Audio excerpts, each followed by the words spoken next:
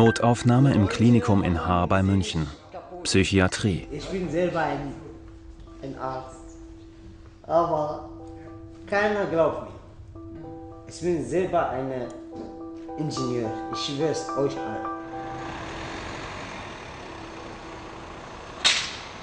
Ich bin mit meiner Tasche mit meiner Mutter angekommen und freiwillig, absolut freiwillig. Und es hat sich ergeben, dass ich vor vier Wochen war ich das letzte Mal hier in Haar gewesen und ich reime mir die eigenen Geschichten zusammen und die sind so, dass ich sage, ich habe ein Gotterlebnis gehabt und, und, und, und, und ihr interessiert euch dafür, aber ihr wollt nichts dafür hergeben, dass ihr zum Beispiel sagt, vielleicht ist ja doch irgendwas dran.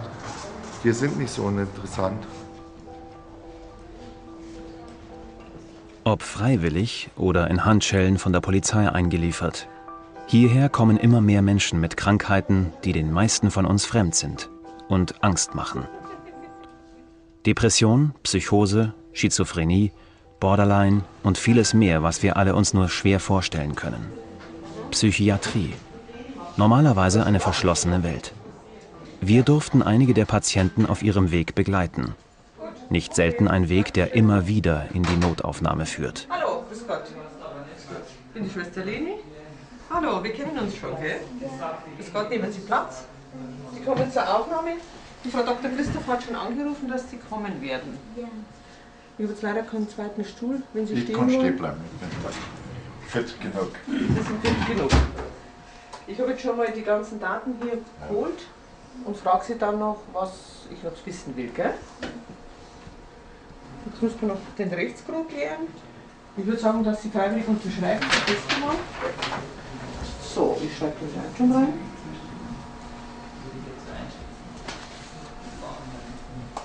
Und das ist hier der Text. Mit meiner Aufnahme Behandlung im Klinikum München Ost kläre ich mich freiwillig einverstanden. Ja. Grüß Gott. Angemeldet worden von der Dr. Christoph. Nehmen Sie bitte Platz und das ist der Egon. Grüß Gott, Kamp in der Aufnahme an. Wort. Du musst doch hier Platz bleiben. Ja. Sie waren in Behandlung hier, sind entlassen worden und waren dann wieder zu Hause. Ja. Ja, Ja? ja. Und warum kommen Sie jetzt wieder? Ja, Elektrik. Gang die Wohnung. Gang die Wohnung, Elektrik. Die hat in der ganzen Wohnung Ja, in der ganzen Wohnung? Ganze die Wohnung, Elektrik gespürt. Gespürt. Also, Dann ist er auf die spüren Sie am Körper, Ja. die Elektrik. Innen. Innen, im Innen, Körper. Innen. Wie, und wie innen. ein Strom. Ja, Ja, innen, ja. Mhm. Aber das war schon mal jetzt ganz weg. Ja, zu Hause äh, manchmal weg, manchmal kommen. Ah ja. Aber jetzt ist es Ah. wieder schlimmer geworden. Ja, aber ich verstanden höre von Maschine gehen. Die Geräusche Ja, so, ja. Ja. Mhm. Seit wann ist das wieder gekommen? Gestern Abend Hat es angefangen? Ja. Und das ist jetzt heute und den ganzen Tag. hatte ich gehört von Ja. Maschine und Leute sch- Mhm. Wie ist es jetzt im Moment? Mit den Geräuschen und den Stimmen, wie ist es im Moment? Ja, ich hier noch, nicht Hier nicht? Ja, hier nicht. Mhm. Aber im, äh, ich, ich habe gesehen, zwei Leute kommen. Aber hier sind Sie sicher und wir passen auf Sie auf und helfen war Ihnen. Wir kennen diesen Zustand oder diese Symptome ganz gut. Das kann man ganz gut behandeln, dass das wieder leichter wird und weggeht. Ja? Die Behandlung müssen Sie nur mit Ihrem Arzt besprechen hier. Ja? Ja. Weil es kommen dann die nächsten Patienten und da ist nicht so viel Zeit hier in dieser Situation.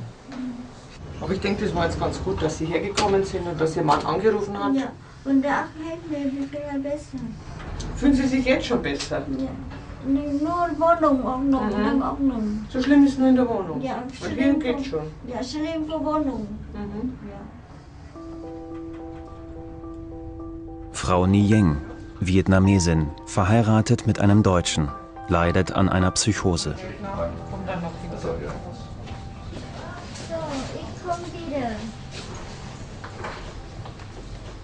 Sie ist zum zweiten Mal hier und kennt sich bereits aus. Notaufnahme, dann direkt in eine der zehn geschlossenen Abteilungen. Zunächst kommt sie in den überfüllten Wachbereich. Können Sie sich in die auch hineinversetzen? Ja, in viele. Nicht in alles. Wenn jemand äh, eine Psychose hat, das ist halt für uns nicht nachvollziehbar. Verrückt, das ist verrückt. Also wenn jemand depressiv ist oder lustig ist, manisch, das kann man sich, kann sich glaube ich jeder ganz gut vorstellen. Aber wenn jemand verrückte Stimmen hört oder so wie vorhin Stimmen und da der Körper elektrisiert wird und so Sachen, das ist ja uns fremd. Das kann man, glaube ich, wenig sich vorstellen. Haben Sie unten schon was bekommen, Medikamente? Ja, schon. Nein, noch nicht. Sie hat nichts bekommen. Nicht. Aber sie hat das Seroquel immer eingenommen? Sie hat es immer eingenommen, ja. Viermal 100 Milligramm am Tag? Viermal Viermal ja. eine Tablette, okay. Gut. Sonst irgendwelche Probleme außer diesem Klopfen und dem Gefühl? Also mit dem Ja. Klopfen, das war nicht so schlimm, aber sie hat gesagt, ich habe schon wieder Klopfen gehört. Und Lassen Sie sie ruhig reden, ja? Ja. Wenn Sie es wenn Sie es beschreiben wollen, dann Ja, sagen um Sie selber. 4 Uhr gestern Abend heute, heute Ganztag. Gut, jetzt bleibt erstmal da. Ja. Gewöhnen sich hier wieder ein, nehmen die Medikamente weiter Ja. in ein bisschen höherer Dosierung. Und am Wochenende kommt der Mann sicher nochmal, dann können Sie auch ein bisschen nein, nein, ich bin gehen. jeden Tag da. Ja, ist ja schon Wochenende fast. Also, ja. Zimmer und dann. Jetzt erstmal bei uns im Wachzimmer. Ja, ja. Da bleiben Sie erstmal ein, zwei Nächte, bis wieder was frei wird. Okay? Das das Wetter von mir. Ja, genau. Und wenn was ist, dann können Sie auch gleich klopfen. Das ist auch nicht schlecht. Ja, das ist jetzt nur das zugestelltes Bett, wie gesagt. Für nächste Gelegenheit kommen Sie wieder hier raus. Ne? Weil wir Sie ja schon gut kennen. Die Therapie für Frau Nieng, Medikamente in immer höherer Dosierung. Tabor-Milligramm-Tabletten, dreimal ein halbes Milligramm. Die verschiedenen Psychopharmaka schlagen bei jedem Patienten anders an.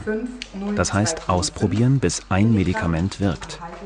ein Grund, warum die Patienten immer wieder kommen.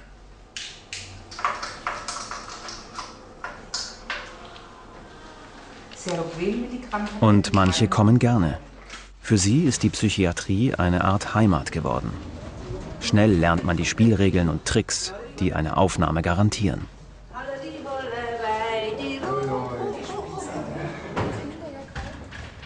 Herr Kall ist ein solcher Psychiatrieprofi und häufig Gast auf der Station. Er kennt die Leute hier, die Mitpatienten genauso wie das Personal.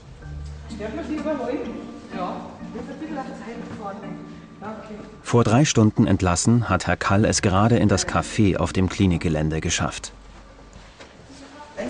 1,45 Promille, nicht durchsucht, ist gekommen, weil er gesagt hat, er wüsste, dass es ab einer bestimmten Promillezahl eine Aufnahmeverpflichtung gäbe. Und hat erzählt, dass er wieder Angstzustände hätte. Ich denke, du kennst ihn besser als ich. Alles Gute, Herr Karl. Und Wiederschauen. Was machen wir denn jetzt? Hm? Haben Sie es nicht lange ausgehalten draußen? Seit wann sind Sie wieder hier? Wo hier? Hier im Haus? Weiß gar nicht. Seit sieben? Weiß nicht. Wann sind Sie gegangen? Vier. Drei Stunden. Waren Sie in der Pilgersheimer? Nein. Sondern? Kaffee. Café Regenbogen. Ja. Gut. Ungefähr 800 Meter haben Sie es geschafft. Nicht weiter. Wahrscheinlich falsche Leute gekommen. Holzraum? Ja. Ich kann verstehen, dass Sie jetzt amüsiert sind, aber ich finde es eigentlich nicht so lustig, dass Sie so schnell wieder hierher gekommen sind. Der, der, der Dr. Kraus fand es auch nicht gut, dass ich gegangen bin. Okay, dann rauchen Sie jetzt mal die Kippe, ich mache hier die Aufnahmen und dann bringe ich Sie ins Zimmer. Hm. Ja? Dann lacht er. Die Augenfarbe? Ich weiß nicht. Blau.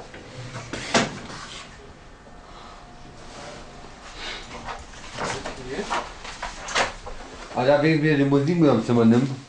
Wie bitte? Die Musik. Nee. Solange Sie blau sind, nehmen Sie nichts mit ins Zimmer. Boah, ich durfte es gestern auch. Ja, aber gestern war ich nicht im Dienst, heute bin ich im Dienst und dann nehmen Sie nichts mit ins Oh, bitte. Nee. Sicherlich nein.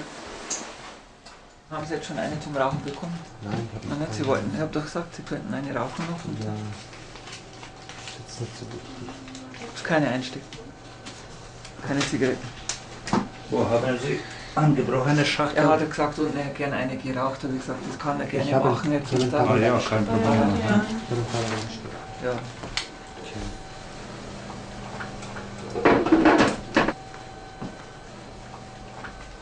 Für die, die immer wieder kommen, ein Ritual. Die letzte Zigarette vor der ersten Nacht, das Aufnahmeprozedere und der überfüllte Wachbereich. Herr Breu, ebenfalls oft hier, nimmt die Situation gelassen hin. Das ist hier leider, das ist das Bett bis morgen. Aber morgen kriegen Sie einen besseren Platz. Ein geht raus und dann Sie kriegen hier einen Platz. Nehmen, Sie- setzen Sie sich Ich hin. habe gesagt, du darfst eine rauchen.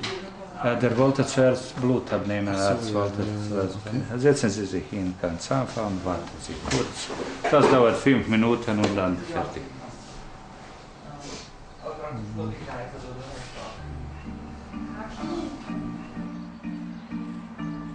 Wie geht es weiter nach der Notaufnahme? Herr Krohn, der Patient mit dem Gotterlebnis, den wir zu Beginn unserer Dreharbeiten getroffen haben, hat mittlerweile den nächsten Schritt geschafft und wohnt jetzt seit vier Wochen in einem der Häuser für Langzeitpatienten. So sieht das Zimmer aus. Das ist mein Bett. Da sind die Tabak, der Kaffee, alles was man braucht auf Station. Schrecklich. Ja, gehen Sie nicht an, es wird die Mama sein. Nein, eine Bekannte, die will ins Café mit mir. Ja? Ja. Na gut. Dann weiß ich Bescheid, ja. Also. Ja, also dann. Ciao. Was ist? Kein Geld. Ist eine von der WG, die wollte mit mir ins Café gehen, aber ich habe selber kein Geld jetzt. Jetzt habe ich 20 Euro pro Woche, jetzt habe ich den einen 5 Euro geborgt. Den einen, am Montag habe ich es krachen lassen, 57 ausgegeben. Und jetzt sieht es schlecht aus für mich. Jetzt habe ich noch 1,50, weil ich mir heute noch Hülsen gekauft habe für den Tabak. Das erste Mal war ich zwölf Wochen hier. Da hatte ich auch dieses Zimmer. Also es ist schon wie, wie so eine kleine Heimat geworden. Ne? Jetzt bin ich auch schon wieder vier Wochen. Das ist schon so, fühlt sich. Man weiß gar nicht mehr, wo man zu Hause ist.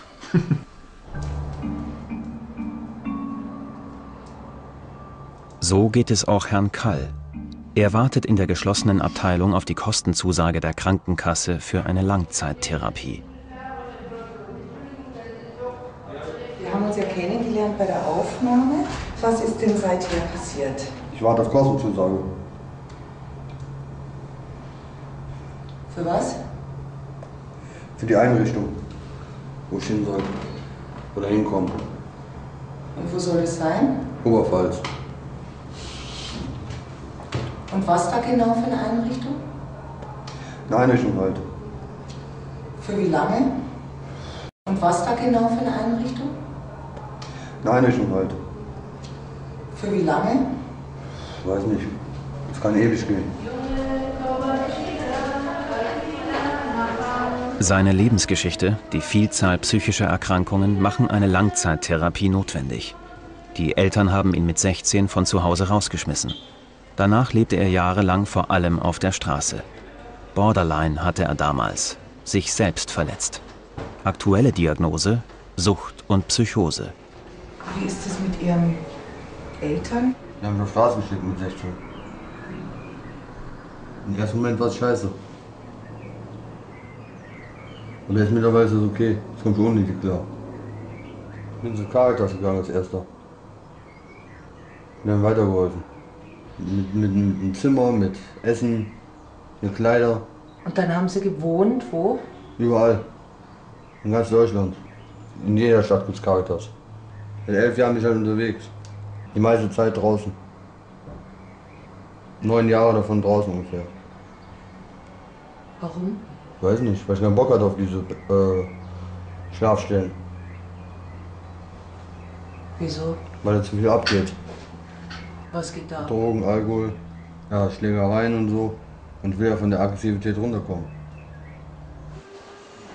Von der Aggressivität runterkommen will er. Und er wünscht sich ein geschütztes und dennoch freies Leben. Ein normales Leben eigentlich. Das hat er bislang noch nicht gehabt. Da, wo ich hinkomme, kriegst du alles bezahlt. Essen, Schlafplatz, die Pflege, also die Therapeuten. Aber ich kann auch Geld dazu verdienen. wenn ich arbeiten gehe. Ah, ja. 200 Euro. Und für welche Arbeit? Ja, Elektro, Schrottrecycling oder so. Ah, ja. Computer auseinanderbauen oder irgendwas. Mhm. Habe ich schon mal gemacht. Macht Spaß. Auch das Leben von Herrn Krohn war bisher wenig stabil. Lange hat er nach Orientierung gesucht und sie möglicherweise gerade durch seine psychische Erkrankung gefunden. Im Osten bin ich groß geworden und so und dann habe ich gedacht, die Rasse muss stimmen und so gegen Ausländer. Und dann war ich ja auch mehr, naja, schon ein kleiner Nazi so. Also ich habe mich nicht toleriert und andere habe ich auch schlecht toleriert. Habe das irgendwie das Leben nicht toleriert und deswegen glaube ich, dass die psychische Krankheit nicht umsonst ist, weil da lernt man besonders viel. Man muss einstecken lernen und also verstehen Sie jetzt, was ich meine? Also man kann jetzt nicht Nazi sein, wenn man psychisch krank ist, weil man da selber, also wollte ich mal sagen. Sie sagen, also es ist eine gute Sache, psychisch krank zu sein. Ja, man lernt, also na, wenn ich jetzt zum Beispiel kerngesund wäre und würde arbeiten und so, dann wäre ich vielleicht so ein Arschloch, was sagen würde, ich, ich mag das nicht, wenn ein psychisch Kranker neben mir Bier trinkt. Also der soll arbeiten und so, da würde ich ganz anders reden. Und dadurch, dass ich jetzt psychisch krank bin, bin ich eigentlich vernünftig. Muss man vielleicht psychisch krank werden, um zur Vernunft zu kommen? Einige Tage später treffen wir Frau Nieng wieder. Geht's mit deinen Tabletten? Meine Tablette ist nicht gut bei mir. Wie oft musst du jetzt noch nehmen? Hm, Ein, zweimal ein Tag. Also haben sie eine weggelassen. Eine Welt Das ist ja schon ein sehr gutes Zeichen. Du schaust da viel besser aus heute. Ja, danke. Du hast gestern eh besser. Ja, viel besser. Und morgen hole ich dich ab in der Früh Ja, und dann darfst du übers Wochenende mal nach Hause. schön. Du, ich habe für unsere Dachterrasse habe ich Bäume gekauft gestern. Und die habe ich heute umgesetzt, dass wir unser zweites Wohnzimmer für den Sommer wieder richtig schick machen. Frau Nieng ist jetzt medikamentös besser eingestellt. Die Nebenwirkungen sind dennoch sichtbar und spürbar. Hallo? Ah. Vor allem das Gefühlsleben leidet unter den Medikamenten. Das weiß auch Herr Krohn, seit kurzem in der Arbeitstherapie. Das Ergonyl, da kriege ich 1500 Milligramm am Tag. Früher war ich euphorisch und dann war ich schwerst depressiv. Das ist weg damit. Dann kriege ich das Florangsol, das ist gegen Psychosen. Das Seroquel, das, das nimmt so diese wahren Gedanken und so. Und Druxal zum Schlafen und Akiniton gegen die Nebenwirkung. Könnte sein, dass ich noch was vergessen habe. Also von innen in die kurze Lasche und dann von außen immer im Wechsel.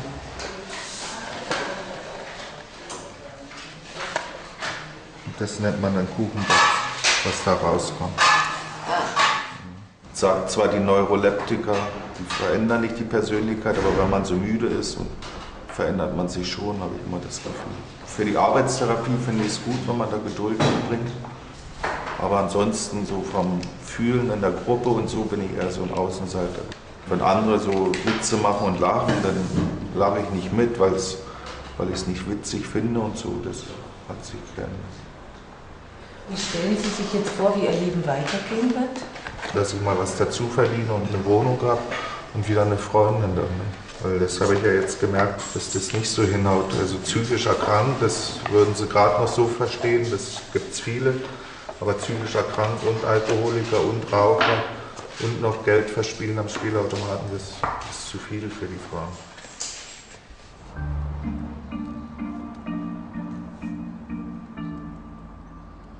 Auch Herr Breu, den wir in der Notaufnahme kennengelernt haben, ist inzwischen in einem Haus für Langzeitpatienten. Come on, this interview says something.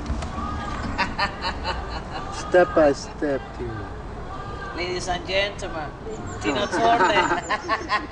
She's a diva. Mm, simply the best. Das ist eine kleine Narbe, da bin ich zwar ziemlich weit gekommen, aber ich habe es ums Verrecken nicht geschafft, die Pulsader durchzudrehen. Die sind mir weggeflutscht. Ja. Und das war der zweite Versuch, ungefähr acht Tage später. Da habe ich nicht, also so, so barbarisch bin ich auch nicht, dass ich mich da aufschlitze. Nein. Ich habe beim zweiten Versuch Unmengen Tabletten abgeschmissen und bin dann drei Tage und drei Nächte auf dem Arm so draufgelegen, bewusstlos. Da war das, der Blutfluss abgeschnürt, dadurch, dass ich draufgelegen bin. Und ich war, bin halt ein Glückskeks irgendwie, weil ich hab, wollte ganz schlau sein und habe nur irgendwie eine Reihe von Bieren, also erst die Tabletten abgeschmissen, habe dann ziemlich bald gemerkt, uh, und dann ein paar Bier hinterkippt und ich schätze, die paar Bier haben meinen Arsch gerettet weil ich mehrmals mich gebrochen habe. Das hat man dann gesehen an der Matratze. Ich musste mich mehrmals übergeben, spucken einfach. Ja. Im Koma-Schlaf dann. Ich war drei Tage komplett weg. Und nach dem dritten Tag, dritten morgens war das, komme ich dann nachts zu mir und dann Hilfe brauchst.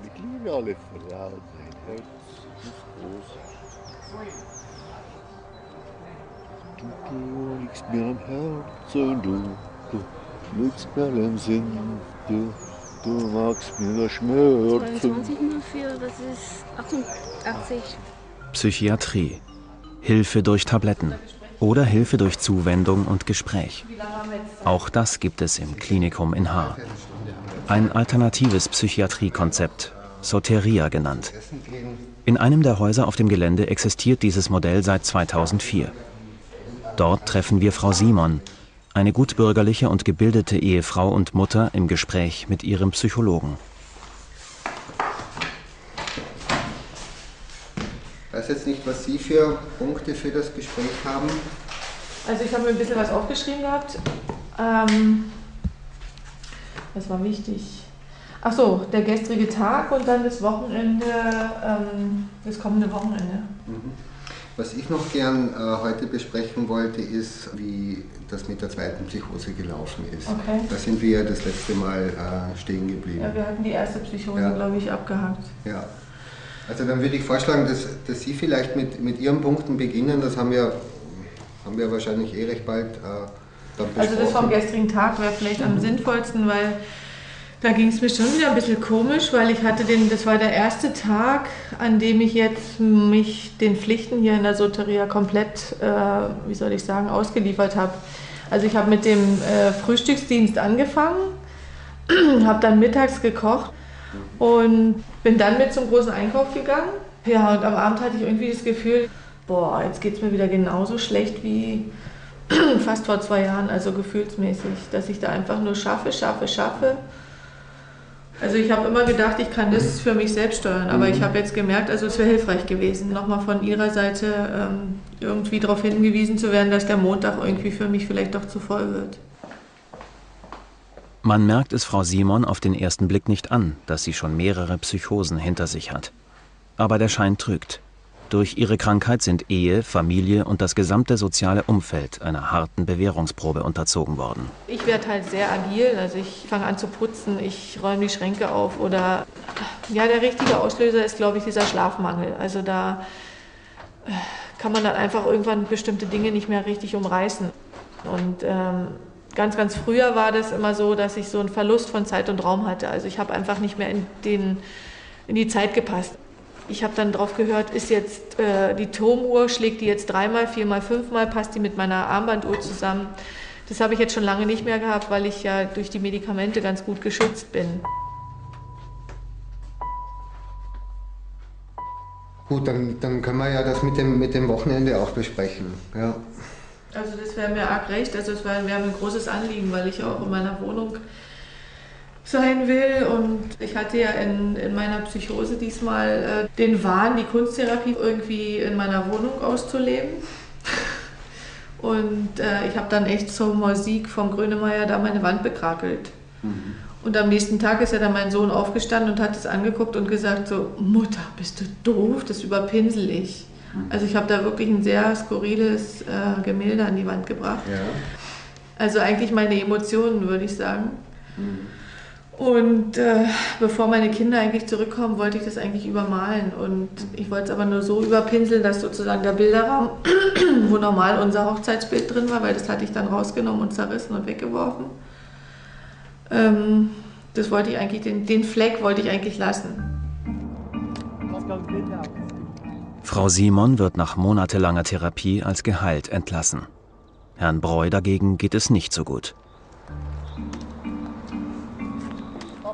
Ich habe nicht erkannt, dass ich krank bin. Ich war der König, ich war unterwegs als Wikinger verkleidet mit Schild und Speer und, und so.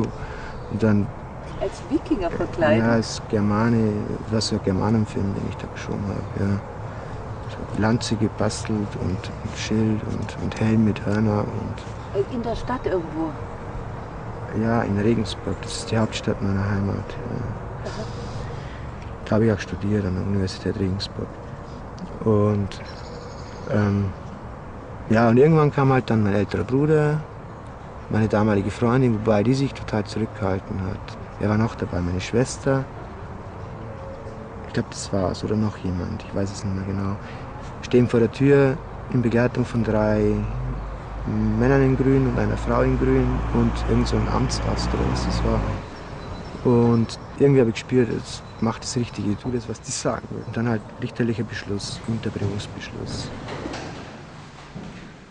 Nicht ganz so dick.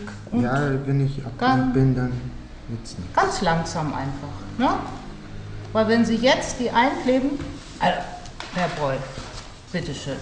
Ne? Ja, wenn Sie die nämlich einkleben, kommt das an der Seite alles raus und das heißt, dass wir die Tüte nicht aufbekommen. Ne?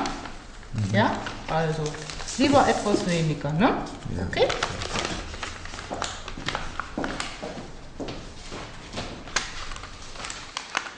Was gibt es sonst noch für Therapien, wo Sie drin sind?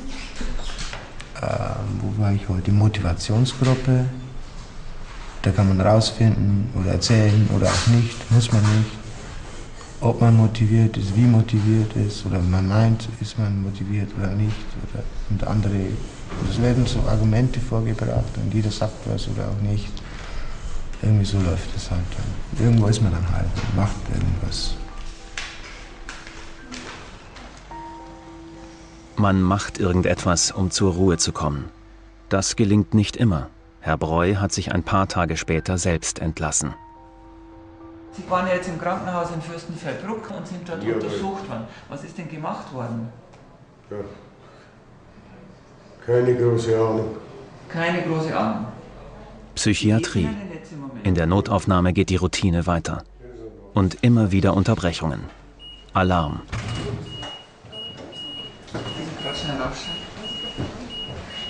Dann fahren wir auf die Station. Wir haben schon was vorbereitet. Ein Sondereinsatzkommando der Polizei bringt einen Randalierer. Einen, der um sich schlägt, der unter Wahnvorstellungen leidet. Alltag in der Notaufnahme.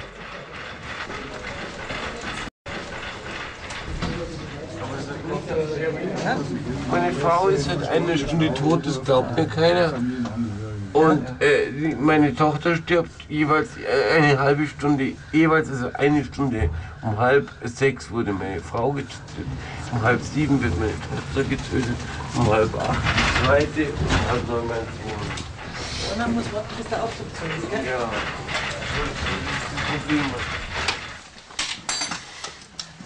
Problem. Wir legen Sie jetzt ins Bett drüber, ja? Ich tue nichts. Sie machen mit. Mit. Einverstanden? Gut. Aus die Haare. Ja, das ist bitte. Was? Eins, zwei, drei. Wir machen langsam unten erst. Jetzt bin ich mir halt Ich wehre mich auch nicht. Okay. Wie schaut es aus? sind Offen? fertig. Da tun wir jetzt den einen Fuß darüber. Ein bisschen, so. Ein bisschen auf die Seite drehen, so zum Nähern. Okay, bleibst du liegen. Also vorher sonst. Wir machen das ein bisschen später, wenn die alle weg sind. Ich wehre mich. Ruhiger Ja, sind. ich wehre mich. Ich verspreche.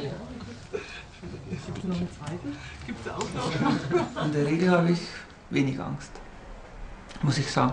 Aber wenn Sie die Tür von anschauen, das letztes Jahr, vor ein paar Monaten war das, dort ein Patient ist auf mich losgegangen. Also es kommt öfter mal vor, aber da konnte ich, habe ich keinen Zugang mehr gehabt. Also der war so psychotisch und mit dem konnte man gar nicht reden oder so. Ich bin halt dann raus, gerade noch rausgekommen, die Tür zugemacht, der hat da so dagegen geschlagen und dann kommt der Hilfe hier im Krankenhaus, ist mir ja nicht ganz alleine. Aber dafür kriegen wir ja auch eine äh, Gefahrenzulage. 15,34 Euro brutto im Monat. Es ist vor kurzem, vor ein paar Wochen habe ich das gekriegt. Also wir haben festgestellt, dass ihnen die Gefahrenzulage zusteht. Früher war es halt mehr, ein bisschen mehr, aber ich meine, da fällt mir nichts mehr dazu ein. Ohne Humor und Liebe zu den Patienten ist diese anstrengende Arbeit nicht zu bewältigen. Das gilt auch für die Krankenschwestern, die im Umgang mit den Patienten viel Sensibilität mitbringen müssen. Im gleichen Moment brauchen sie aber auch Entscheidungs- und Durchsetzungsfähigkeit. Ein immens hohes Anforderungsprofil. Anerkennung gibt es dafür selten. Und jetzt rutschen sie nicht mehr? Mhm. Ich hab sie schon.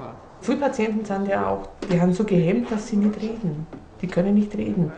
Und dann weiß man eben durch manche Gestiken, durch die Mimik, durch die Augen, weiß man einfach, was kann ich jetzt zu dem sagen. Wir wissen aber ganz genau, wann das brenzlig wird. Ja. Da haben wir dann einfach Hand, da übergeben wir auch den Aufnahmearzt und sagt, so und jetzt müssen wir rauf. Jetzt, jetzt muss es schnell gehen. Das ist ja oft so, dass der so unter Druck steht und dann schreibt und fragt und schreibt und fragt und so und dann ist das. Und was nicht merkt, was da der, jetzt Das kommt, Gespür ja. hat der nicht mehr, weil da, dann, da merkt man schon diese Unruhe im Patienten halt so, so gewisse Körperbewegungen und man schaut in die Augen und dann, dann weiß man schon eigentlich, was los ist. Und da wo man dann sagt, jetzt ist jedes Ding zu viel. Zu viel. Wenige Minuten später. Ein Neuzugang auf Station. Der Patient kommt mit Aktenkoffer. Darin diverse Körperpflegemittel.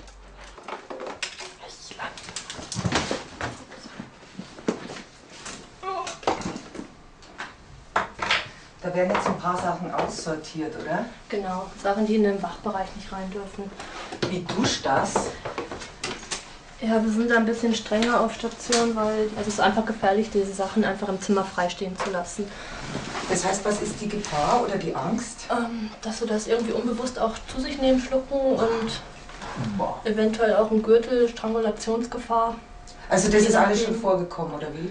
Genau, also die Fälle gab es schon Station. Dass man Duschdas trinkt. Das kam auch schon des Öfteren vor.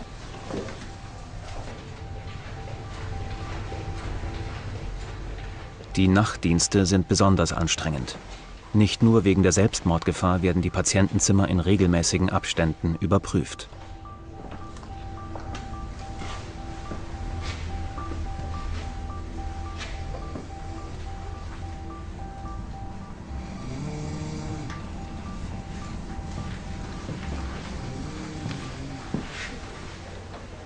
Das ist ja so, dass meistens so zwei, drei Patienten nachts zugehen und da muss man spüren, bedeutet das jetzt Gefahr oder kann ich das jetzt einigermaßen abschätzen und handeln. Und gerade am Anfang, da ist mir das öfters passiert, dass ich mich wirklich verschätzt habe. Zum Beispiel eine Patientin, die unbedingt rauchen wollte. Und ich habe zu ihr gesagt, nein, Sie müssen jetzt warten, bis ich muss den Verband machen. Und jedenfalls hat die sich dann so, so heftig gewehrt und dann hat sie getreten und da hat sie mich dann im Bauch getreten. Und dann hatte ich mich umgedreht, weil das so wehgetan hat und das hätte ich nicht machen dürfen, weil da hat sie mich dann am Hintern erwischt und da bin ich zwei Meter weit geflogen. Am nächsten Tag treffen wir Herrn Krohn wieder. Inzwischen lebt er in einer Wohngruppe außerhalb des Klinikums und ist stolz auf sich, weil er gerade einen Arbeitstherapieplatz in der Korbflechterei bekommen hat. Jetzt habe ich zwei Tage für, das Korb, für den Korb gebracht. Das habe ich mir gekauft. Sagt man bloß. Mal sehen, erzähl Ja. mal. Das schaut ja kompliziert aus. Also das, das Kreuz, das hat sie mir geholfen. Bei denen hatten wir die Anfänger hat sie geholfen. Da hat sie geholfen, aber denn dann äh, ge geflechtet habe ich ja. Ne? Das gezeigt hat sie mir das. Und aber wie lange haben Sie gebraucht? Zwei Tage, das ist schnell. In Agatharit, wo ich war vor 2003, da habe ich für so einen Korb 14 Tage und bin ich fertig geworden. Ich habe erst gedacht, ich habe Probezeit so ewig. Jetzt habe ich das gemacht nach zwei Tagen und haben sie gesagt, also wenn ich will, kann ich übernommen werden. Das ist ja schon mal was. Also wir stellen uns das so vor, Sie wohnen da in der Wasserburger Straße Ja. in der Wohngemeinschaft und radeln dann täglich hierher. Ja, bei Wind und Wetter. Ich immer muss runterfahren. Na du, ich halte dich schon. Du brauchst keine Angst haben. Du brauchst wirklich keine Angst. Frau Niyeng hingegen ist wieder zu Hause und in einem erbärmlichen Zustand. Fälle wie sie gibt es viele. Die Medikamente wirken nicht. Trotzdem wurde sie entlassen. Jetzt will ihr Mann sie wieder ins Klinikum bringen. Wir fahren jetzt danach gleich. Ich brauche nur, gib mir Gesundheit. Ich brauche, gib mir Gesundheit. Also Ihre Frau ist vollkommen am Ende, sie ist entlassen worden und Ich, ich, ich habe es nicht verstanden. Gell. Ich habe auch mit den Ärzten gesprochen und ich habe also gesagt, das geht nicht. Gell. Aber die haben sie nicht behalten. Zu haben gesagt, Hause alles sie haben gesagt, okay. zu Hause wird es besser. Alles in Ordnung. Aber so- ich krank. Und ich habe da angerufen. Ja. Und wie war das? Ja, war also eine Schwester oder irgendjemand am Telefon. Ich wollte mit den Ärzten sprechen, haben gesagt, die Ärzte haben jetzt Wichtigeres zu tun. Und ich war also richtig wütend. Gell. Der Ehemann von Frau Niyeng ist wütend auf die Mitarbeiter des Klinikums. Die Patienten selbst beschweren sich selten, wollen und können es nicht. Und Beschwerden von Angehörigen werden häufig als lästige Einmischung empfunden und entsprechend abgeschmettert. Auch ein Grund übrigens, warum sich Patienten und Angehörige mit unseren Filmaufnahmen einverstanden erklärt haben. Durch unsere Anwesenheit fühlen sie sich geschützt. Erstmal wieder zur Aufnahme.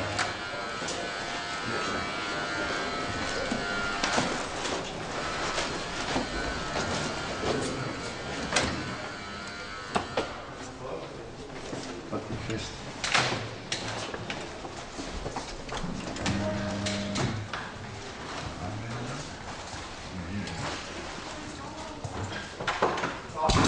Grüß Gott. Hallo, Frau Kunde, Gott. Wir sind schon wieder da. Grüß Sie, wie Sind geht's Ihnen? schlecht. Ha? Geht mir. Sind Sie erst entlassen? In der Nacht, ich kann nicht, in der Nacht bin krank wieder. Ja.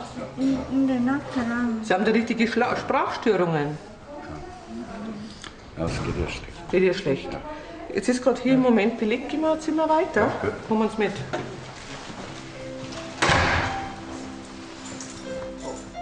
Insgesamt mehr Respekt in der Gesellschaft gegenüber psychisch erkrankten Menschen. Das wäre der Traum von Herrn Krohn. Jeder von uns sollte sich mehr in diese Menschen hineinversetzen können.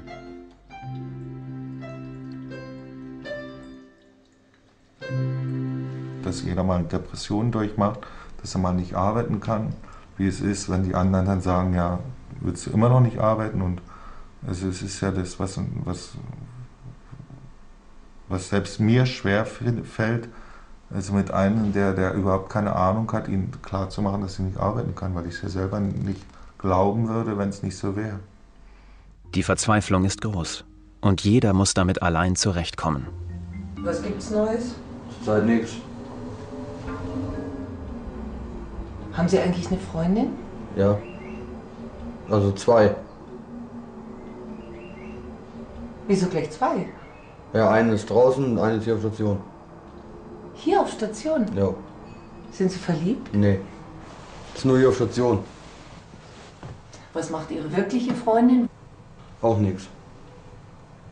Auch auf Straße rumhängen. Ist auch rausgeschmissen worden von zu Hause mit 15. Sie ist eine Borderlinerin. Ich hab's auch schon gemacht. Ausprobiert. Mit einer Rasierklinge. Oder Glasscherben oder Messer oder was ich was. Außer was Scharfes. Ich hab's auch schon hinter mir.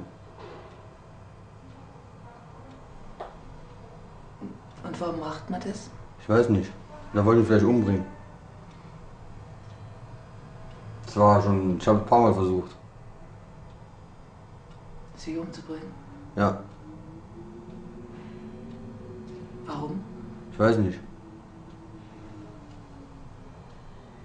Das weiß man nie in dem Moment.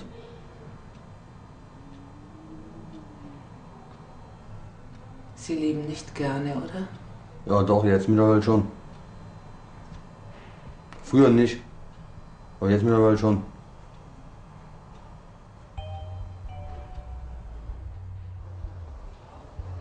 Mittlerweile hat Herr Kall ein eigenes Zimmer in einer betreuten Wohngemeinschaft und eine feste Freundin. Frau Nieng kämpft weiter gegen ihre Krankheit.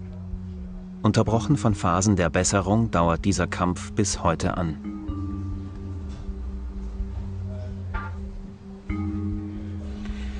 geht's Ihnen? Ja, nicht besser, weil ich habe einen Medikamente bekommen. Hier viel besser. Aber in der Nacht zu viel. Ich kann nicht liegen hier fünf Minuten und dann laufen. Fünf Minuten und laufen. Nur ohne Ruhe.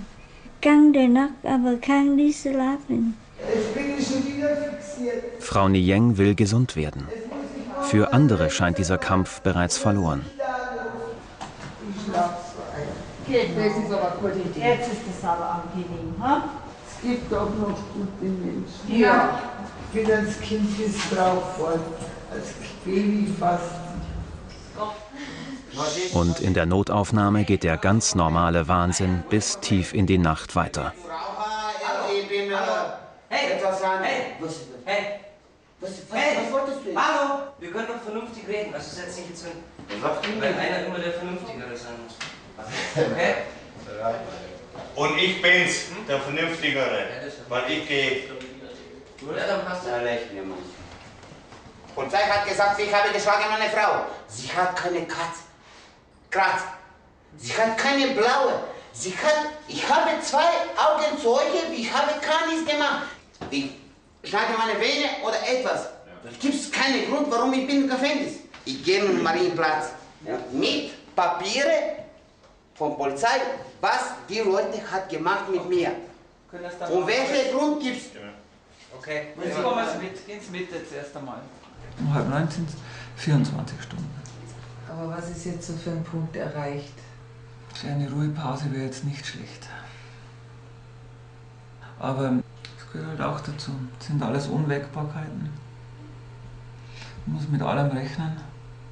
Also ich rechne mit allem.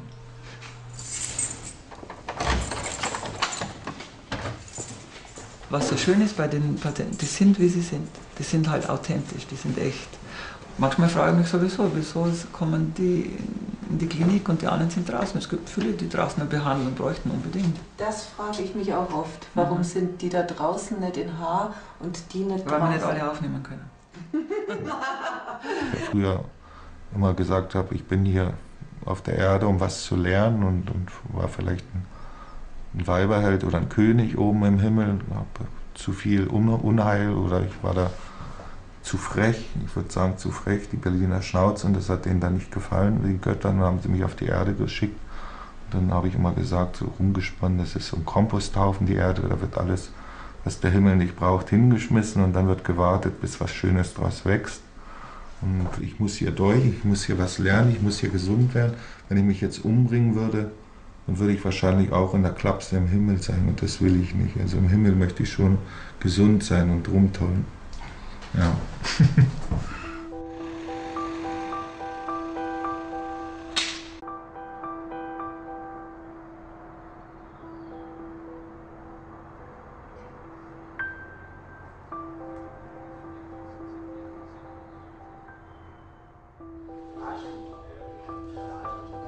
Notaufnahme im Klinikum in Haar bei München. Psychiatrie. Ich bin selber ein, ein Arzt. Aber keiner glaubt mir. Ich bin selber ein Ingenieur. Ich schwör's euch allen. Ich bin mit meiner Tasche mit meiner Mutter angekommen und freiwillig, absolut freiwillig. Und äh, es, es hat sich ergeben, dass ich vor vier Wochen war ich das letzte Mal hier in Haar gewesen und ich reime mir die eigenen Geschichten zusammen und die sind so, dass ich sage, ich habe ein Gotterlebnis gehabt und, und, und, und, und ihr interessiert euch dafür, aber ihr wollt nichts dafür hergeben, dass ihr zum Beispiel sagt, vielleicht ist ja doch irgendwas dran. Wir sind nicht so uninteressant. Ob freiwillig oder in Handschellen von der Polizei eingeliefert. Hierher kommen immer mehr Menschen mit Krankheiten, die den meisten von uns fremd sind und Angst machen. Depression, Psychose, Schizophrenie, Borderline und vieles mehr, was wir alle uns nur schwer vorstellen können. Psychiatrie. Normalerweise eine verschlossene Welt. Wir durften einige der Patienten auf ihrem Weg begleiten. Nicht selten ein Weg, der immer wieder in die Notaufnahme führt. Hallo, grüß Gott. Ich bin die Schwester Leni. Hallo, wir kennen uns schon, gell? Bis Gott, nehmen Sie Platz. Sie kommen zur Aufnahme. Die Frau Dr. Christoph hat schon angerufen, dass Sie kommen werden. Ja. Ich habe jetzt leider keinen zweiten Stuhl, wenn Sie Ich stehen kann wollen. stehen bleiben. Ich bin fit genug. Das sind gut genug. Ich habe jetzt schon mal die ganzen Daten hier geholt und frage Sie dann noch, was ich noch wissen will, gell? Jetzt müssen wir noch den Rechtsgrund klären. Ich würde sagen, dass Sie freiwillig unterschreiben, das letzte Mal. So, ich schreibe den Datum rein.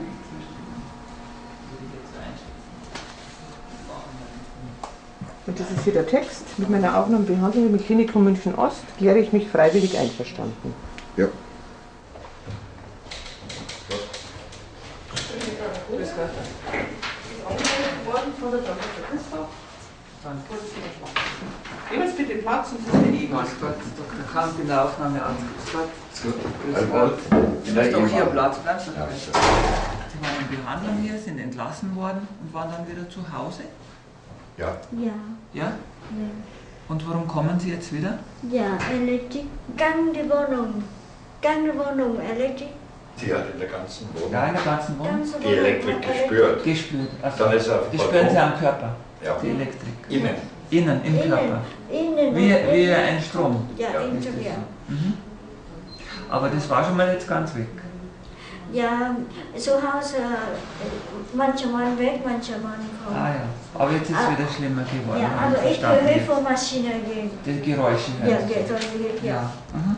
Seit wann ist das wieder gekommen? Gestern Abend. Hat es angefangen. Ja. Und ist jetzt heute und den ganzen Tag. Hatte ich gehört von Ja. Maschine und Leute, Mhm. Wie ist es jetzt im Moment? Mit den Geräuschen und den Stimmen, wie ist es im Moment? Ja, ich hier noch, nicht Hier nicht? Ja, hier nicht. Mhm. Aber im, äh, ich, ich habe gesehen, zwei Leute kommen. Aber hier sind Sie sicher und wir passen auf Sie auf und helfen Ihnen. Wir kennen diesen Zustand oder diese Symptome ganz gut. Das kann man ganz gut behandeln, dass das wieder leichter wird und weggeht. Ja? Die Behandlung müssen Sie nur mit Ihrem Arzt besprechen hier. Ja? Weil es kommen dann die nächsten Patienten und da ist nicht so viel Zeit hier in dieser Situation. Aber ich denke, das war jetzt ganz gut, dass Sie hergekommen sind und dass Ihr Mann angerufen hat. Ja, und der hilft mir wieder besser. Fühlen Sie sich jetzt schon besser? Ja. Nur Wohnung, Ordnung, Mhm. Ordnung. So schlimm ist nur in der Wohnung. Ja, schlimm hier geht's von- schon. Ja, schlimm für Wohnung. Mhm. Ja. Frau Niyeng, Vietnamesin, verheiratet mit einem Deutschen, leidet an einer Psychose.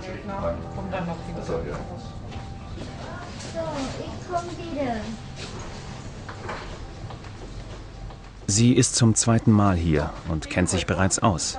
Notaufnahme, dann direkt in eine der zehn geschlossenen Abteilungen. Zunächst kommt sie in den überfüllten Wachbereich. Können Sie sich in die auch hineinversetzen? Ja, in viele. Nicht in alles. Wenn jemand äh, eine Psychose hat, das ist halt für uns nicht nachvollziehbar. Verrückt, das ist verrückt. Also wenn jemand depressiv ist oder lustig ist, manisch, das kann man sich... Macht Spaß. Auch das Leben von Herrn Krohn war bisher wenig stabil. Lange hat er nach Orientierung gesucht und sie möglicherweise gerade durch seine psychische Erkrankung gefunden. Im Osten bin ich groß geworden und so. Und dann habe ich gedacht, die Rasse muss stimmen und so gegen Ausländer. Dann war ich ja auch mehr, na, schon ein kleiner Nazi so. Also ich habe mich nicht toleriert und andere habe ich auch schlecht toleriert. Habe das irgendwie das Leben nicht toleriert und deswegen glaube ich, dass die psychische Krankheit nicht umsonst ist, weil da lernt man besonders viel. Man muss einstecken lernen und also verstehen Sie jetzt, was ich meine? Also man kann jetzt nicht Nazi sein, wenn man psychisch krank ist, weil man da selber, also wollte ich mal sagen. Sie sagen, also es ist eine gute Sache, psychisch krank zu sein. Ja, man lernt, also na, wenn ich jetzt zum Beispiel kerngesund wäre und würde arbeiten und so, dann wäre ich vielleicht so ein Arschloch, was sagen würde, ich, ich mag das nicht, wenn ein psychisch Kranker neben mir Bier trinkt. Also der soll arbeiten und so, da würde ich ganz anders reden. Und dadurch, dass ich jetzt psychisch krank bin, bin ich eigentlich vernünftig. Muss man vielleicht psychisch krank werden, um zur Vernunft zu kommen? Einige Tage später treffen wir Frau Niyeng wieder. Wie geht's mit deinen Tabletten? Meine Tablet, das ist gut für mir. Wie oft musst du jetzt noch nehmen? Hm, Ein, zweimal ein Tag. Also haben sie eine weggelassen. Eine Welt Das ist ja schon ein Mittag. sehr gutes Zeichen. Du schaust da viel besser aus heute. Ja, danke. Du hast gestern eh besser. Ja, viel besser. Und morgen hole ich dich ab in der Früh und dann darfst du übers Wochenende mal nach Hause. Schön. Du, ich habe für unsere Dachterrasse habe ich Bäume gekauft gestern. Und die haben wir heute umgesetzt, dass wir unser zweites Wohnzimmer für den Sommer wieder richtig schick machen. Frau Nieng ist jetzt medikamentös besser eingestellt. Die Nebenwirkungen sind dennoch sichtbar und spürbar. Hallo? Ah, komm mal, Zigarette. Vor allem das Gefühlsleben leidet unter den Medikamenten. Das weiß auch Herr Krohn, seit kurzem in der Arbeitstherapie. Das Ergonyl, da kriege ich 1500 Milligramm am Tag. Früher war ich euphorisch und dann war ich schwerst depressiv. Das ist weg damit. Dann kriege ich das Floranxol, das ist gegen Psychosen.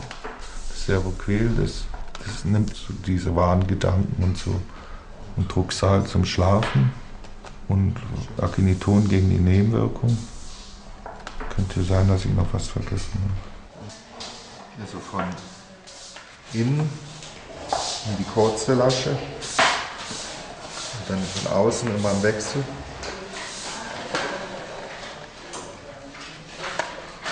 Und das nennt man dann Kuchenbox, was da rauskommt. Sagt zwar die Neuroleptiker, die verändern nicht die Persönlichkeit, aber wenn man so müde ist, verändert man sich schon, habe ich immer das Gefühl. Für die Arbeitstherapie finde ich es gut, wenn man da Geduld mitbringt. Aber ansonsten so vom Fühlen in der Gruppe und so bin ich eher so ein Außenseiter. Wenn andere so Witze machen und lachen, dann lache ich nicht mit, weil ich es nicht witzig finde und so. Das hat sich geändert. Wie stellen Sie sich jetzt vor, wie Ihr Leben weitergehen wird? Dass ich mal was dazu verdiene und eine Wohnung habe und wieder eine Freundin dann. Ne?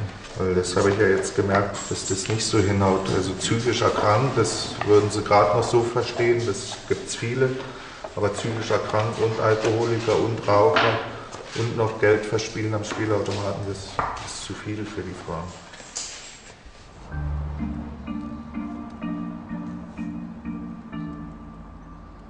Auch Herr Breu, den wir in der Notaufnahme kennengelernt haben, ist inzwischen in einem Haus für Langzeitpatienten. Step by step, Tino. Ladies and gentlemen, Tino Torre. Diese Diva. Mm, Simply the best. Ähm, Das ist eine kleine Narbe, da bin ich zwar ziemlich weit gekommen, aber ich habe es ums Verrecken nicht geschafft, die Pulsader durchzudrehen. Die ist immer weggeflutscht. Ja. Und das war der zweite Versuch, ungefähr acht Tage später. Da habe ich nicht, also so, so barbarisch bin ich auch nicht, dass ich mich da aufschlitze. Nein.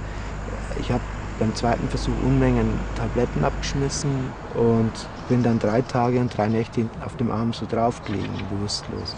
Da war das, der Blutfluss abgeschnürt, dadurch, dass ich draufgelegen bin. Und ich war, bin halt ein Glückskeks irgendwie, weil ich habe ganz... Kann sich, glaube ich, jeder ganz gut vorstellen. Aber wenn jemand verrückte Stimmen hört oder so wie vorhin Stimmen und da der Körper elektrisiert wird und so sagen, das ist ja uns fremd. Das kann man, glaube ich, wenig sich vorstellen. Haben Sie unten schon was bekommen, Medikamente? Ja, schon. Nein, noch nicht. Sie hat nichts bekommen. Nicht. Aber sie hat das Seroquel immer eingenommen? Sie hat es immer eingenommen, ja. Viermal 100 Milligramm am Tag? Viermal, Viermal ja. eine Tablette, okay. Gut. Sonst irgendwelche Probleme außer diesem Klopfen und dem Gefühl? Also mit dem Ja. Klopfen, das war nicht so schlimm, aber sie hat gesagt, ich habe schon wieder Klopfen gehört. Okay. Und Lassen Sie sie ruhig reden, ja? Ja? Wenn Sie es wenn Sie's beschreiben wollen, dann Ja, sagen um Sie selber. 4 Uhr gestern Abend bis heute, heute Ganztag. Gut, jetzt bleibt erstmal da. Ja. Gewöhnen sich hier wieder ein, nehmen die Medikamente weiter Ja. in ein bisschen höherer Dosierung. Und am Wochenende kommt der Mann sicher nochmal, dann können Sie auch ein bisschen Nein, nein, ich bin jeden Tag da. Ja, ist ja schon Wochenende fast. Ach so, ja. Das Zimmer und dann. Sie kommen jetzt erstmal bei uns im Wachzimmer. Da bleiben Sie jetzt mal ein, zwei Nächte, bis wieder was frei wird. Okay?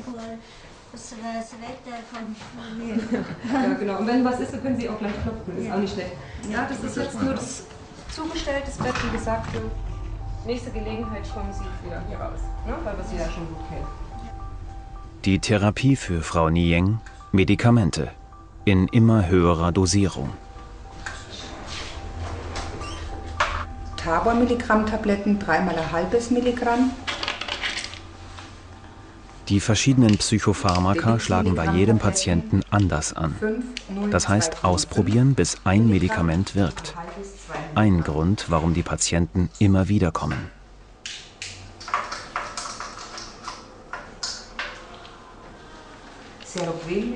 Und manche kommen gerne. Für sie ist die Psychiatrie eine Art Heimat geworden. Schnell lernt man die Spielregeln und Tricks, die eine Aufnahme garantieren.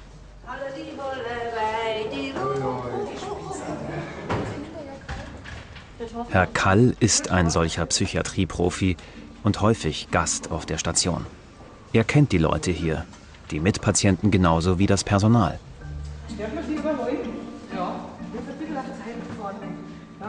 Vor drei Stunden entlassen hat Herr Kall es gerade in das Café auf dem Klinikgelände geschafft. 1,45 Promille, nicht durchsucht, ist gekommen, weil er gesagt hat, er wüsste, dass es ab einer bestimmten Promillezahl eine Aufnahmeverpflichtung gäbe. Und hat erzählt, dass er wieder Angstzustände hätte. Ich denke, du kennst ihn besser als ich. Alles Gute, Herr Karl. Danke. Wiederschauen. Was machen wir denn jetzt? Hm? Haben Sie es nicht lange ausgehalten draußen? Seit wann sind Sie wieder hier? Wo hier? Hier im Haus? Weiß gar nicht. Seit sieben? Weiß nicht. Wann sind Sie gegangen? Vier. Drei Stunden. Waren Sie in der Pilgersheimer? Nein. Sondern? Kaffee. Café Regenbogen. Ja. Gut. Ungefähr 800 Meter haben Sie es geschafft. Nicht weiter. Wahrscheinlich falschen Leute gekommen. Holzraum? Ja. Ich kann verstehen, dass Sie jetzt amüsiert sind, aber ich finde es eigentlich nicht so lustig, dass Sie so schnell wieder hierher gekommen sind. Der, der, der Dr. Kraus fand es auch nicht gut, dass ich gegangen bin. Okay, dann rauchen Sie jetzt mal die Kippe, ich mache hier die Aufnahmen und dann bringe ich Sie ins Zimmer. Hm. Ja? Da lacht er. Die Augenfarbe? Ich weiß nicht. Blau.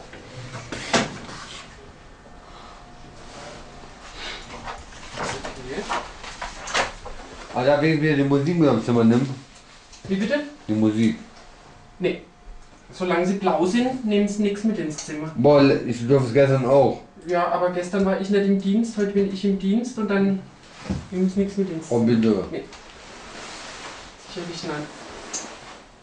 Haben Sie jetzt schon eine zum Rauchen bekommen? Nein, ich hab Nein, noch nicht. Sie wollten, ich habe doch gesagt, Sie könnten eine rauchen noch. Und Ja.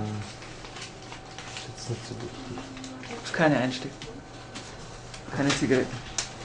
Wo haben Sie angebrochene Schachtel? Er hat gesagt, und er hätte gerne eine geraucht, habe ich gesagt, das kann er gerne Ich habe machen. Ein gesagt, paar- Ah, ja, kein Problem. Ja. Habe. Ja.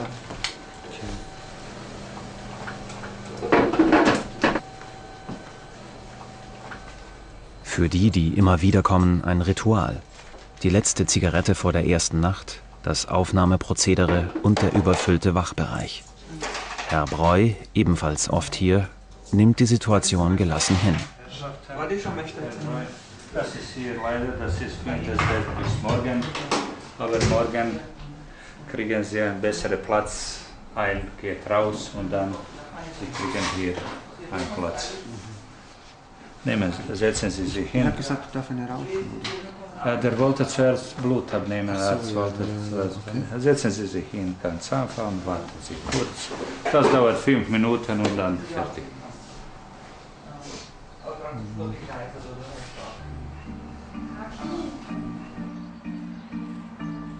Wie geht es weiter nach der Notaufnahme? Herr Krohn, der Patient mit dem Gotterlebnis, den wir zu Beginn unserer Dreharbeiten getroffen haben, hat mittlerweile den nächsten Schritt geschafft und wohnt jetzt seit vier Wochen in einem der Häuser für Langzeitpatienten. So sieht das Zimmer aus. Das ist mein Bett. Da sind die Tabak, der Kaffee, alles was man braucht auf Station.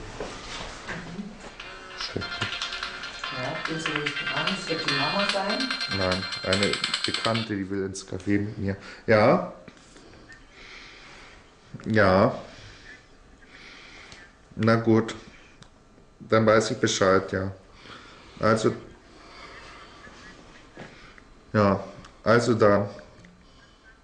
Ciao. Was ist? Kein Geld. Ist eine von der WG, die wollte mit mir ins Café gehen, aber ich habe selber kein Geld jetzt. Jetzt habe ich 20 Euro pro Woche, jetzt habe ich den einen 5 Euro geborgt. Den einen, am Montag habe ich es krachen lassen, 57 ausgegeben. Und jetzt sieht es schlecht aus für mich. Jetzt habe ich noch 1,50, weil ich mir heute noch Hülsen gekauft habe für den Tabak. Ja. Das erste Mal war ich zwölf Wochen hier. Da hatte ich auch dieses Zimmer. Also es ist schon wie, wie so eine kleine Heimat geworden. Nicht? Jetzt bin ich auch schon wieder vier Wochen. Das ist schon so, fühlt sich. Man weiß gar nicht mehr, wo man zu Hause ist.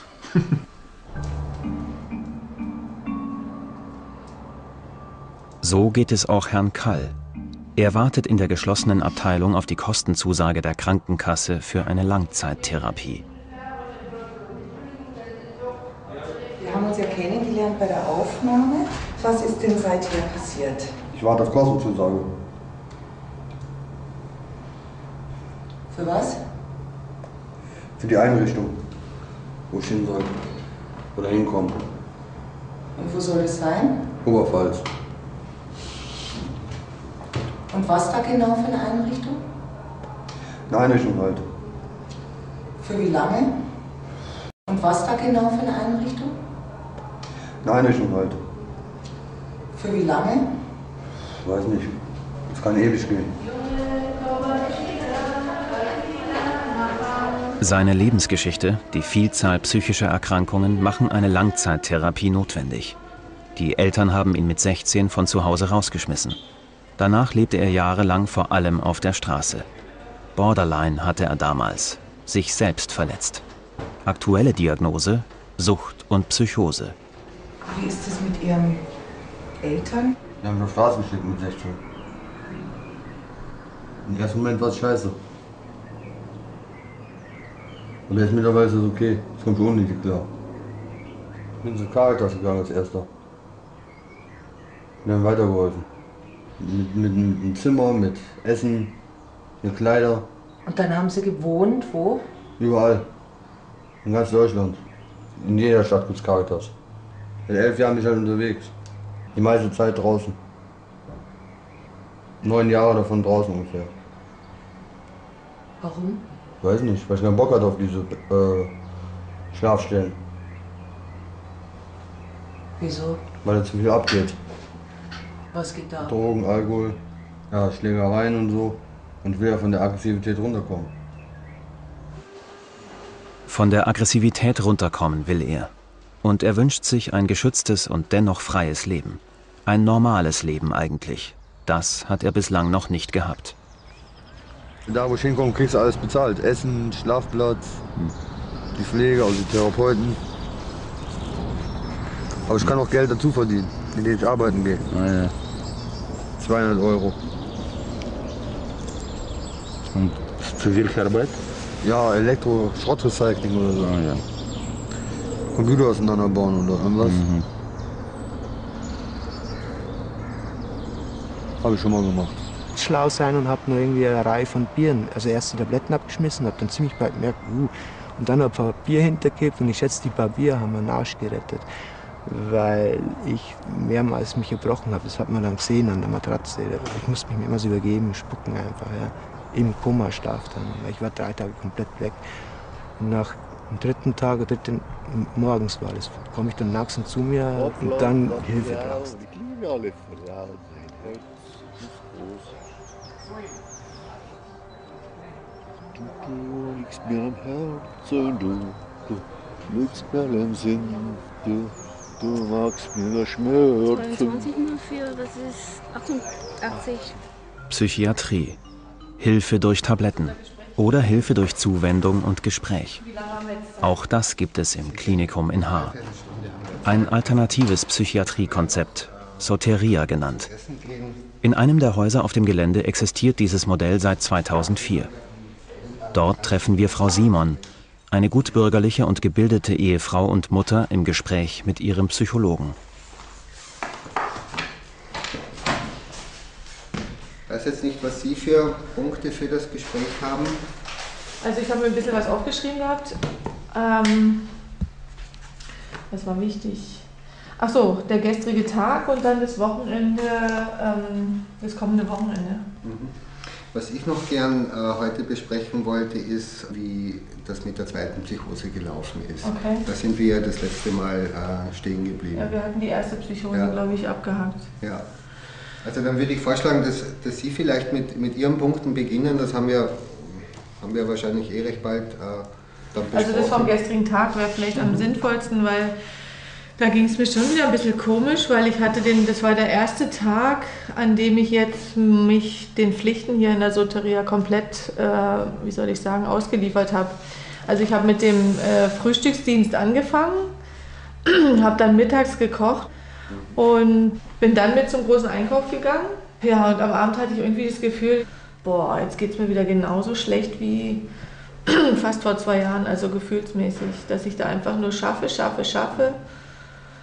Also ich habe immer gedacht, ich kann das für mich selbst steuern, aber ich habe jetzt gemerkt, also es wäre hilfreich gewesen, nochmal von Ihrer Seite ähm, irgendwie darauf hingewiesen zu werden, dass der Montag irgendwie für mich vielleicht doch zu voll wird.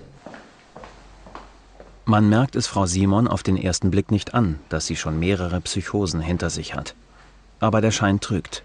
Durch ihre Krankheit sind Ehe, Familie und das gesamte soziale Umfeld einer harten Bewährungsprobe unterzogen worden. Ich werde halt sehr agil, also ich fange an zu putzen, ich räume die Schränke auf oder ja, der richtige Auslöser ist, glaube ich, dieser Schlafmangel. Also da äh, kann man dann einfach irgendwann bestimmte Dinge nicht mehr richtig umreißen. Und ähm, ganz, ganz früher war das immer so, dass ich so einen Verlust von Zeit und Raum hatte. Also ich habe einfach nicht mehr in, den, in die Zeit gepasst. Ich habe dann drauf gehört, ist jetzt äh, die Turmuhr, schlägt die jetzt dreimal, viermal, fünfmal, passt die mit meiner Armbanduhr zusammen. Das habe ich jetzt schon lange nicht mehr gehabt, weil ich ja durch die Medikamente ganz gut geschützt bin. Gut, dann, dann können wir ja das mit dem, mit dem Wochenende auch besprechen. Ja.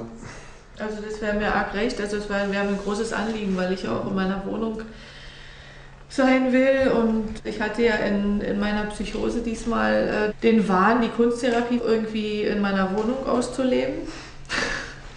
Und äh, ich habe dann echt zur Musik vom Grönemeyer da meine Wand bekrakelt. Und am nächsten Tag ist ja dann mein Sohn aufgestanden und hat es angeguckt und gesagt so, Mutter, bist du doof, das überpinsel ich. Also ich habe da wirklich ein sehr skurriles äh, Gemälde an die Wand gebracht. Also eigentlich meine Emotionen, würde ich sagen. Und äh, bevor meine Kinder eigentlich zurückkommen, wollte ich das eigentlich übermalen. Und ich wollte es aber nur so überpinseln, dass sozusagen der Bilderraum, wo normal unser Hochzeitsbild drin war, weil das hatte ich dann rausgenommen und zerrissen und weggeworfen. Ähm, das wollte ich eigentlich, den, den Fleck wollte ich eigentlich lassen. Frau Simon wird nach monatelanger Therapie als geheilt entlassen. Herrn Breu dagegen geht es nicht so gut. Ich habe nicht erkannt, dass ich krank bin. Ich war der König, ich war unterwegs als Wikinger verkleidet mit Schild und Speer und, und so. Und dann, Als Wikinger verkleidet? ja, als Germane, was so Germanenfilm, den ich da geschoben habe. Ja. Lanze gebastelt und, und Schild und, und Helm mit Hörner und In der Stadt irgendwo.